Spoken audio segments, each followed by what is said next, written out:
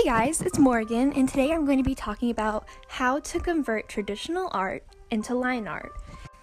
Say you are more comfortable uh, doing traditional art for your comic rather than doing it straight onto the computer. Well, don't have no fear, you can still do this. This is what I did for my comic.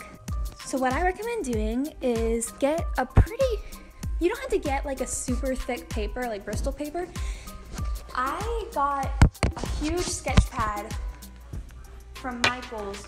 It's an Artist Loft brand, and surprisingly, not only is it huge, it's also the paper is much thicker than a normal sketchbook paper. So that kind of took care of my problem. so what you do is you sketch all your pages, and then you go over them and ink them. You can get you can either do you can do this with just a normal black pen.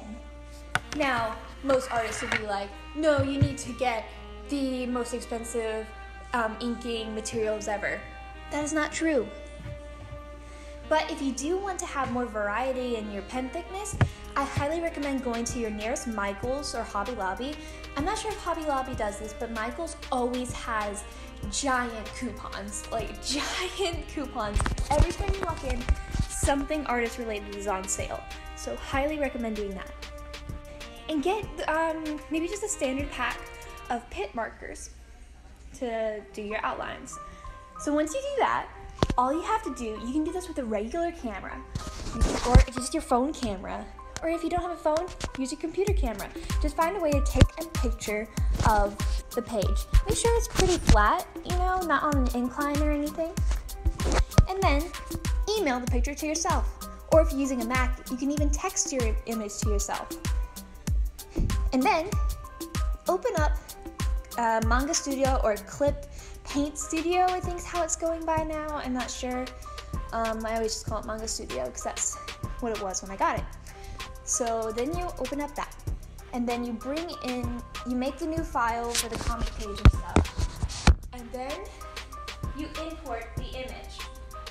Now don't make it like a template or anything. Just just go to File, Import, and then find the image.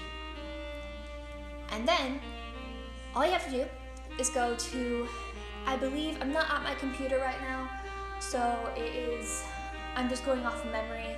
Uh, go to Layer and then click Rasterize.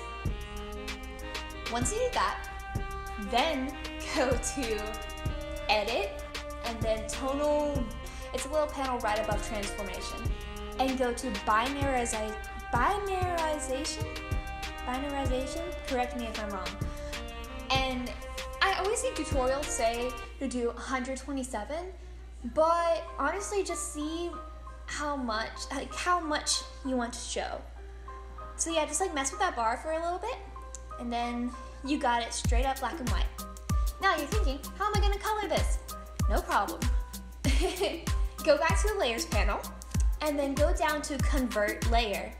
Now you're gonna get this little box that says um, it gives you like the name of the layer and then there's a color mode.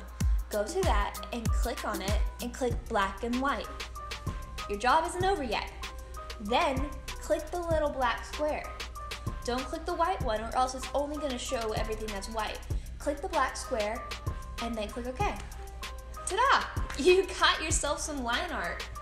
Now you can color your comic with no worries it this is something that revolutionized me like that was so revolutionary to me and i'm really shocked that there isn't many tutorials out there for this. I have some big news.